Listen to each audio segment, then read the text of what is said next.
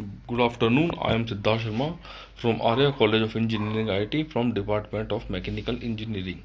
In upcoming slide, I will tell the classification of the wind turbine. These are the content which I will cover in the upcoming slide that is classification of the wind turbine in that I will tell on how many type wind turbine is classified then what we will discuss about the horizontal axis wind turbine and their layout and we will tell about the I will tell about the vertical axis wind turbine and layout of the vertical axis wind turbine. So first we come to the classification of the wind turbine. Wind turbine are classified according to two types.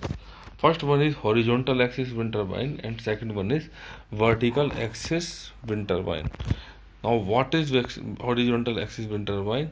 This is the most common wind turbine design in addition to being parallel to the ground. The axis of the blade rotation is parallel to the wind flow. Some machines are designed to operate in upwind mode with the blades upwind of the